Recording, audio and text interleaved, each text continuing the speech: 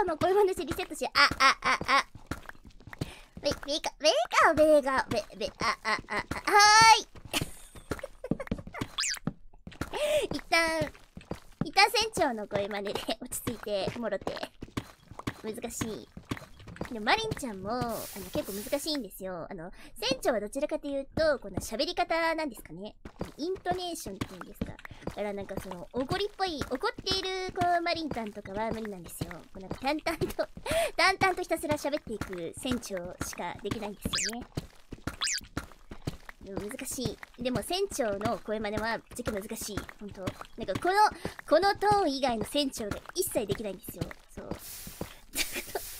この、このトーン以外の船長が全くできないですわ。そう。これしかできないんですよ。若い時の船長。船長はいつ今でも若いですけど。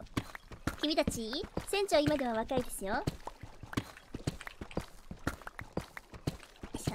美少女無罪ですからね。ビショパイ。ビショパイ。ビショパイの略しなんかちょっと、なんかちょっと、うーんってなっちゃう。そう、船長は17歳なんで。はい。なんかもう船長30とかなんか言ってたらしいですけど、本人が。